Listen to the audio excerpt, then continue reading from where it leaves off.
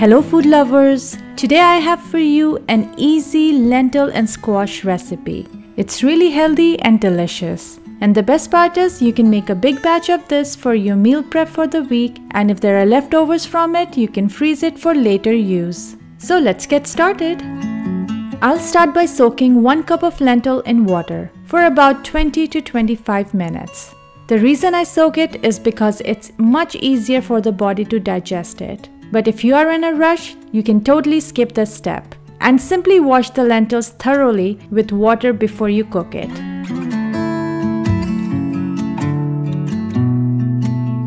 If you notice the lentils have doubled in size, go ahead and drain it.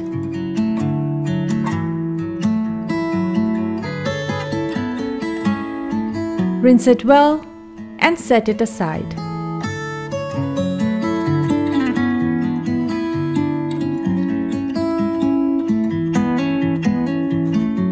Also here I have approximately 500 grams of squash.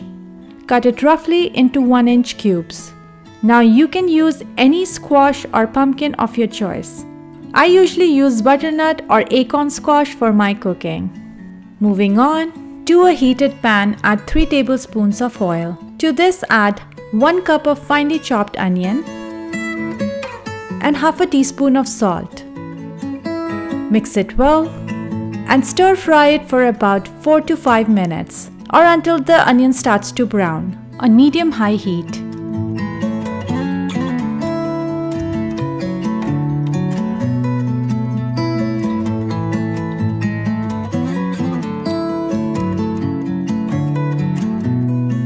If you notice the onion has started to caramelize. At this point, add 1 tablespoon of minced ginger, 1 tablespoon of minced garlic, and cook it for a minute or so to get rid of the raw flavor of the ginger and garlic.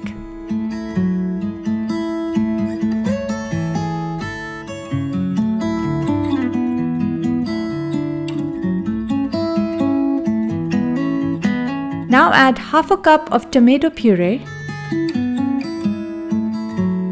Mix it and then we'll add the spices.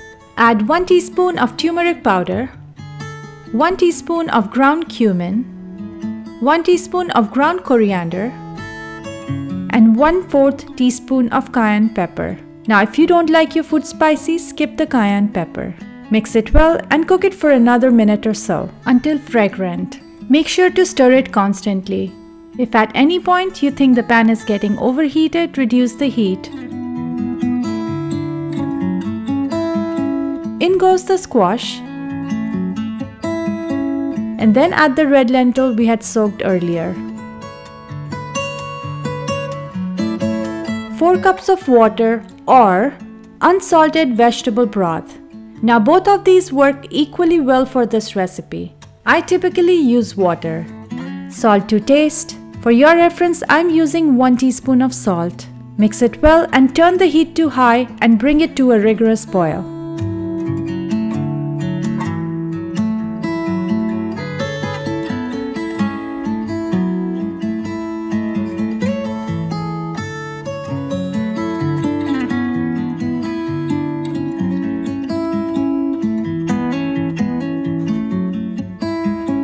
If you notice it has started to boil. At this point, cover the lid and let it cook for about 20 to 25 minutes or until the lentils are cooked on low heat. Now if you want more texture, cook it for 20 minutes. But if you like your lentils creamy, cook it for 25 minutes or longer. It's totally up to you. It's been 20 minutes. Open the lid and check to see if the lentils are cooked. If not, cover it and cook it for a bit longer. Personally, I like the lentils to have some texture, so this is good for me. Mix it. The lentil may be a little watery at this point, so turn up the heat to medium and continue cooking. Now it's totally up to you how liquidy or thick you want the lentils to be.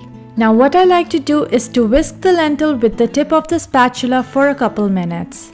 What this does is breaks the lentil a little bit and makes it creamy.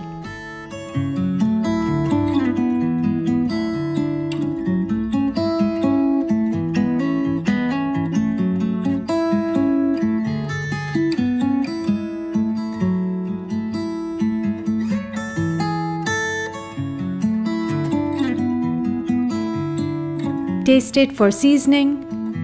It surely needs some salt so I'll go ahead and add some. For your reference, I'm adding 1 4th teaspoon of salt. Mix it well. This looks good. Turn off the heat and then garnish it with half a teaspoon of freshly ground black pepper, 1 or 2 teaspoons of lemon or lime juice, some finely chopped parsley or cilantro, about 1 third of a cup, and a good drizzle of olive oil, about 2 tablespoons. Now I really insist that you use a good quality olive oil. Here I'm using some organic cold press olive oil. Mix it well all done and ready to eat. Now this is the consistency we are looking for. It is not too runny yet not too thick.